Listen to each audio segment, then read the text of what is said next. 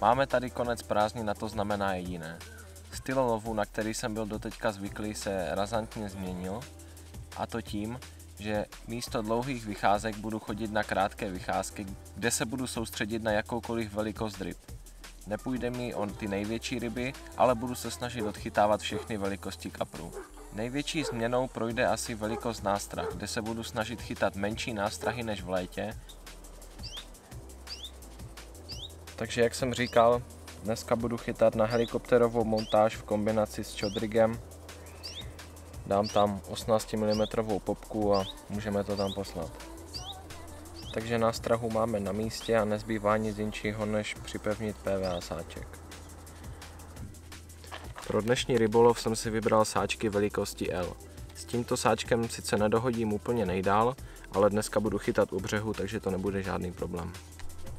Takže tady už mám nachystaný samotný PVA sáček a začneme tím, že si nasypeme trochu směsi do sáčku. Nyní do sáčku vložíme olůvko. Budeme se ho snažit uložit pokud možno co nejblíže ke středu. A postupně budeme sáček zasýpat.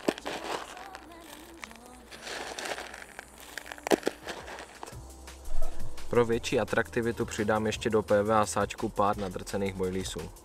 Bojlísy nebudu drtit nikterak najemno, ale budu se snažit udělat větší částečky.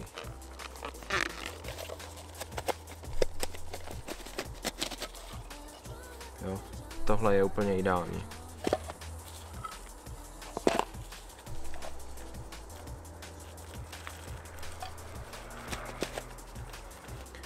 Sáček máme takto naplněný a nezbývá nic ničeho než ho zabalit.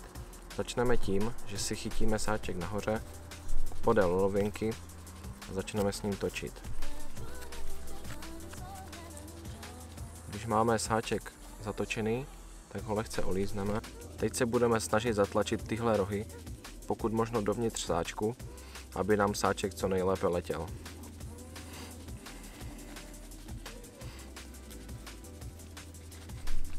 Zase roh sáčku nasliníme, přilepíme ho. To samé uděláme na druhé straně.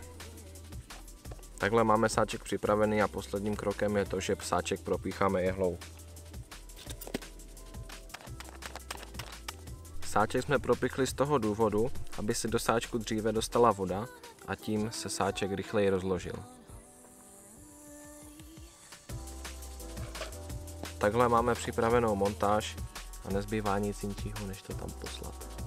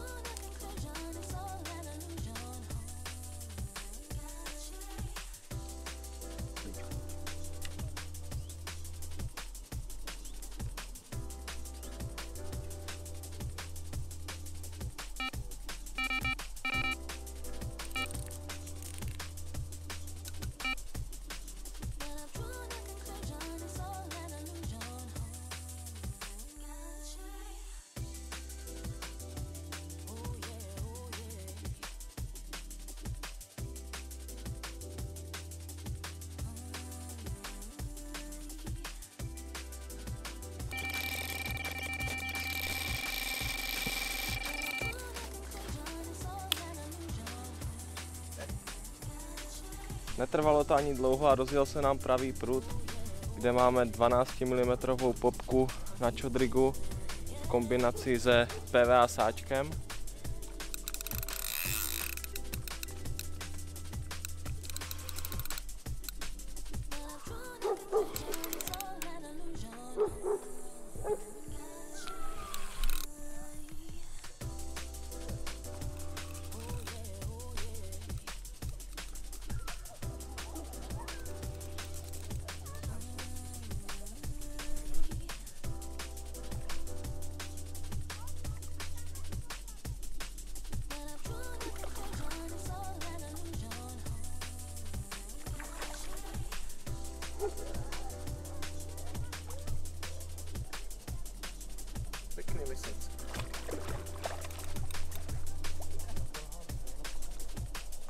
Celkem v pohodě, ne?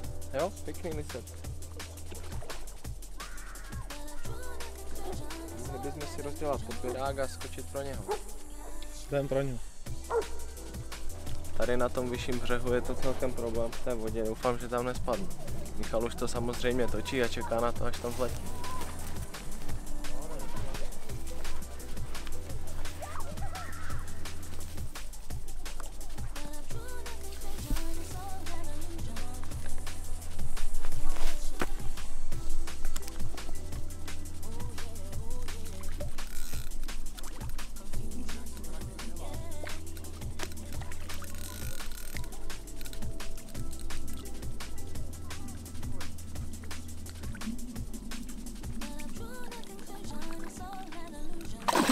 Je tam. První ryba, doufám, že ne poslední. A i kdyby, tak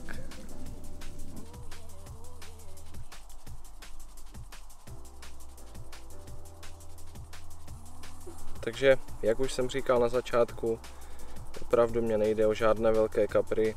Přišel jsem k vodě kvůli tomu, abych si zachytal nějaké ryby, ať už dojde velký nebo malý. Radost mi to udělá stejnou. Půjdeme ho vyfotit a pustit zpátky.